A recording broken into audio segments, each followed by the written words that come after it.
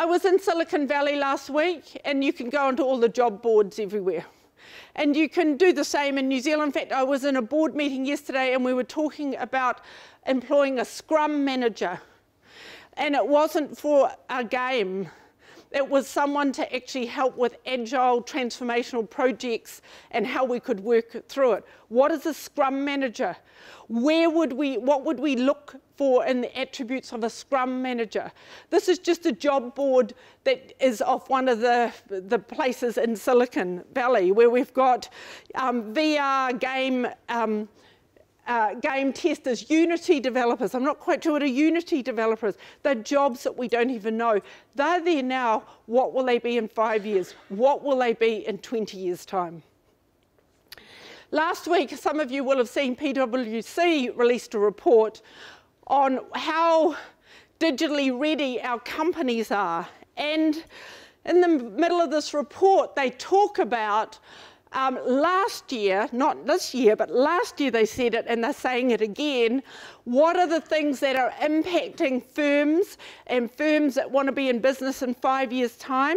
They are things like blockchain, Internet of Things, 3D printing, robotics, drones, artificial intelligence, virtual reality.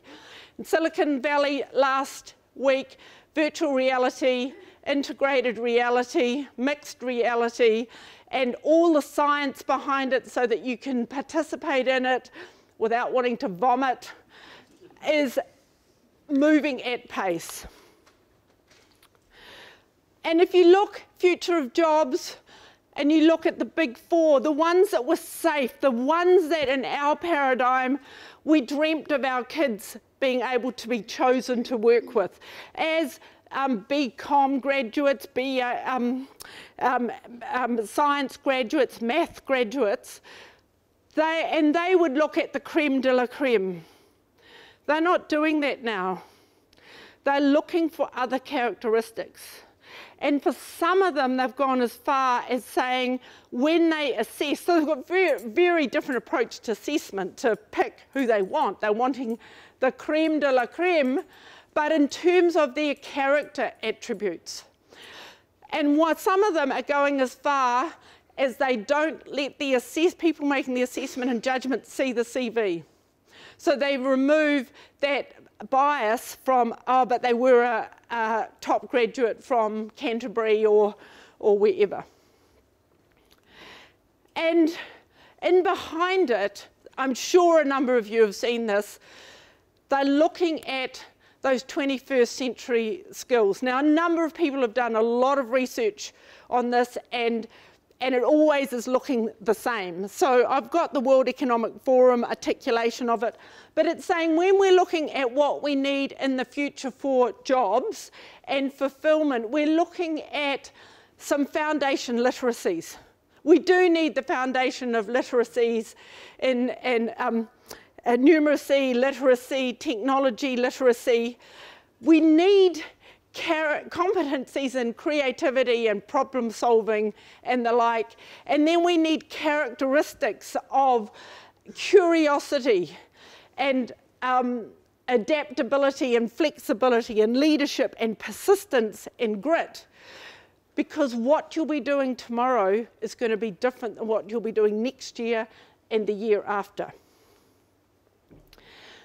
So the future of jobs means we've got to look inward to our system and say, are we doing what is needing to be done to help prepare our population for that? Are we the handbrake? Are we in the way of saying there is a different way of approaching this? The second part, second driver for me is this borderless education. So there's lots of things we could talk about in these, this area, but one of the areas is to look at what's available. And these MOOCs or mass open online courses are available there for you right now. You could leave tonight and go home and you could go online and you could start tomorrow. No one will be trying to work out whether they think you're up to it. And a number of them, you won't pay any money.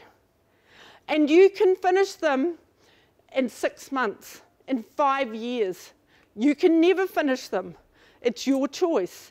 And a number of them dip into some of the best expertise, latest thinking for you to participate in.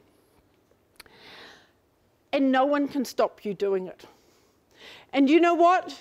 You could participate when you're five, you're 10, you're 15, you're 50. So, where does that fit into the school offering?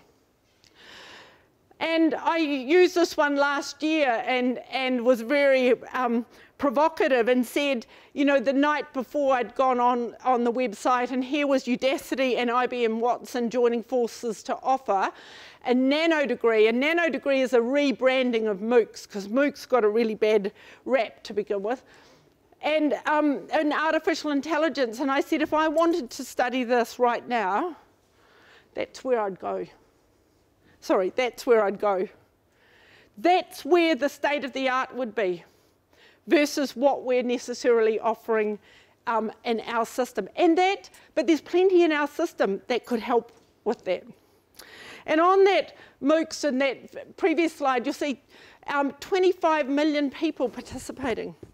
One of the big criticisms of it from the educationalists and politicians was this is terrible though because people don't complete them. And Harvard Business Review did a, did a study last year, or the year before, and um, they looked at why do people do them? And one of the major reasons was career benefit. And of those that had completed, and even those that hadn't completed, they've a, large percentage, you know, significantly, um, uh, statistically significantly, had um, achieved career benefit. What did that mean? They got a promotion or they got a transfer or they were able to operate in a different way, but they achieved that objective. And then thinking about borderless combined with, with free or demonetization, the barriers to access to education. So Microsoft will offer you a degree in data science it plus computer visioning are the two, one of the two areas that are absolute skills shortage.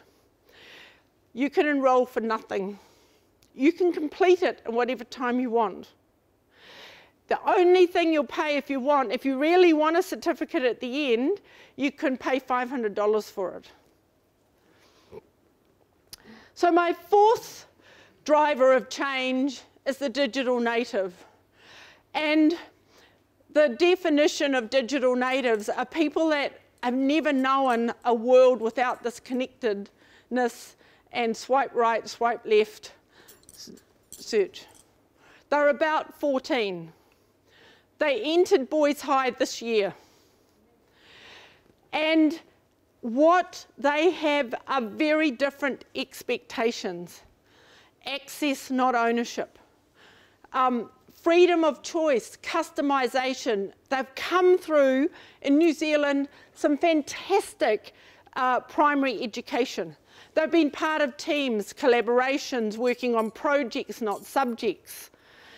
And they're coming into a high school where ultimately NZQA will be a great pressure on you and with the ministry to teach to the test. So one of the things that we really um, I'm hopeful is they will put pressure on all of us. They will put pressure on those of you who are parents to say this is a load of crap.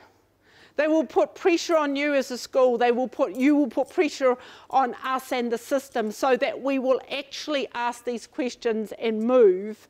Um, move to look at the transform with haste in terms of the transformation that we need to uh, undertake for the system.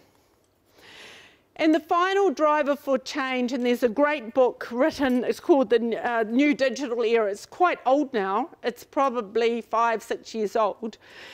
And it talks about one of the thing, the big thing that changes with digitization, with that computer in your hand is the power trans, trans sorry, the power transfers from the government, from the regulator, from the corporate into the power of the individual. So you saw this joyful young woman at the beginning of my slide, but this time I want to talk about it in a different context because she's an individual and she's bought, built this wonderful robot. How she built that today could be a number of ways. She could have Googled and bought the parts on eBay and sat in her room and never interacted with anyone. She could be working with someone who may be 20 years older than her or 10 years younger even than her, and they could be chatting virtually about how they're doing it and they could be sharing what's happening. She could be at a wānanga. She could be at boys, not boys high, girls high. She could actually do that a number of ways. And she could have got that experience and demonstrated that. And that's what's happening in this era, that you don't just have to do it in the pathway that has been laid out and regulated for years.